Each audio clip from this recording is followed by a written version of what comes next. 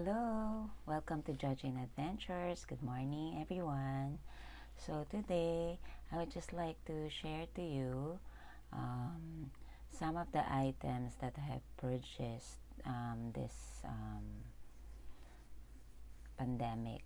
So, actually, hindi naman siya ganun ka-essential. So, pero, um, gusto ko lang i-share sa inyo kasi natutuwa ako dun sa mga items na na-purchase ko. So, start ka na guys. Konti lang naman to. Yan. So, nandito siya sa bayong. So, first is this one. So, LED light. So, gagamitin ko to dun sa ano, sa um, gardening ko. Kasi yung garden namin nasa second floor siya. Parang balcony veranda. Kasi walang ano doon light. So ang kagandahan nito LED siya. Tapos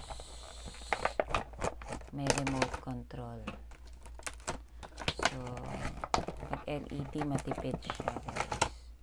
So by the way nabili ko pala to sa dito lang sa aming condo online. Kasi 'di ba as I have said may mga seller dito. I just bought this for 199 so may remote control guys. So pipindutin lang Ayan. Ganda na guys so yun na so, parang So, may remote. Ayan, no? Off. So, ang linaw niya. Try natin. Pero yung light.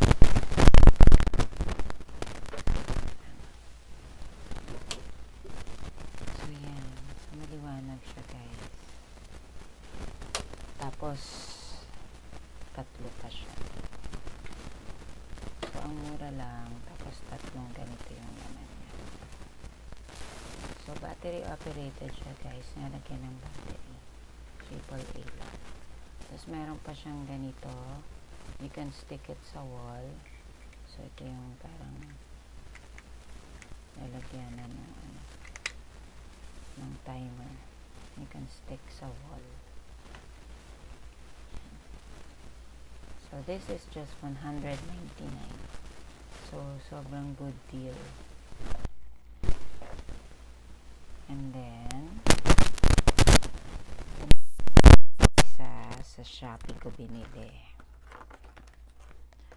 So, sa kakabili ko online, na dami kong nade-discover na yung mga nagde-deliver. Ito, Ninja Van. May ganito pala guys, no? Ninja Van. Kasi usually Lalamove, JNT, LBC. So, this one, magagamit ko din to sa gardening ko.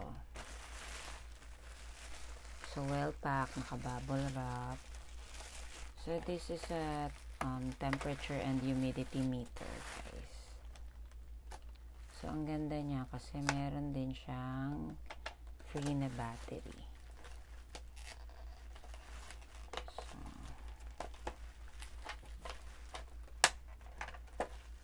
So ito, useful din to sa aking ano,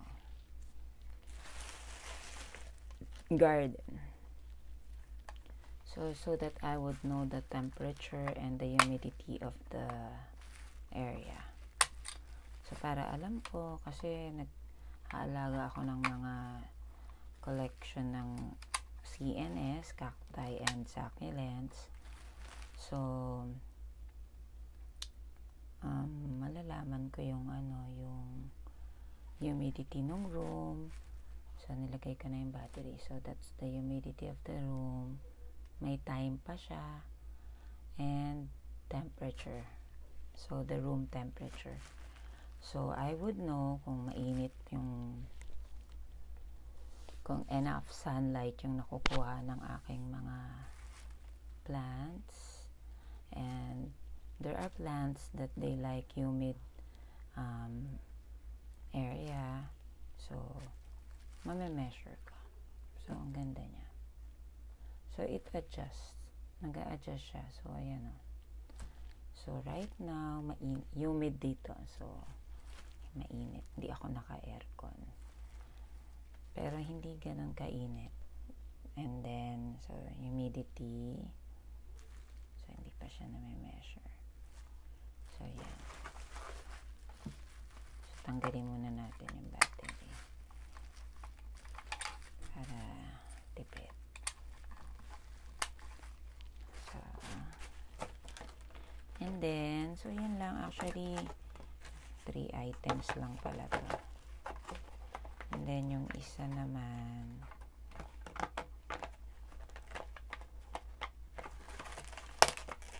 I bought naman sa Daiso. So, this one would be helpful for me. Ganda, guys. So, I also like the color. Actually, dalawa na, na lang siya. White at saka ito. Green. Ang ganda ng pagka-green niya. Pastel. So, this would be useful itong wireless mouse sa aking online consult, telemedicine, and yan, paggamit ng computer.